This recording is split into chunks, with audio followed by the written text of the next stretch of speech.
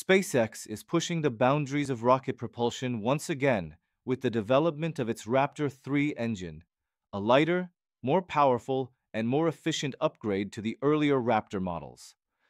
This latest iteration represents a key technological leap forward as the company intensifies its mission to reach Mars and make space travel truly sustainable. Tested at the McGregor facility in Texas, Raptor 3 has already achieved over 700 seconds of cumulative runtime, a major benchmark in rocket engine development. Each test fires this methane-fueled engine under increasingly demanding conditions, confirming its endurance and reliability for real-world missions. The results are promising, showing that the new engine not only works, but thrives under the pressures of spaceflight.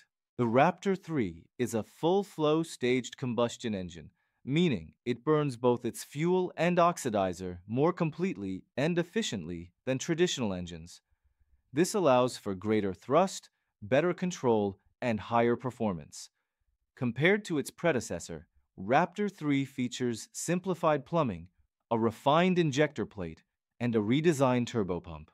All these enhancements serve a single purpose. Make the engine lighter, more robust, and easier to maintain or replace. Weight reduction is particularly critical.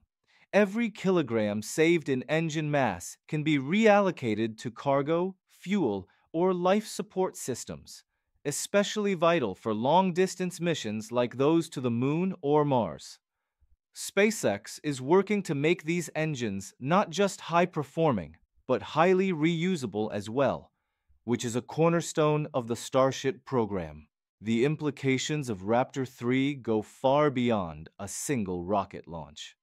These engines are what will eventually lift SpaceX's massive Starship off Earth, send cargo to orbit, and one day propel humans toward the Red Planet. Their improved performance will make repeated deep space missions more feasible, reducing the cost and complexity of interplanetary travel. As SpaceX moves closer to launching its next Starship missions, the Raptor 3 will be front and center, powering the future of human space exploration.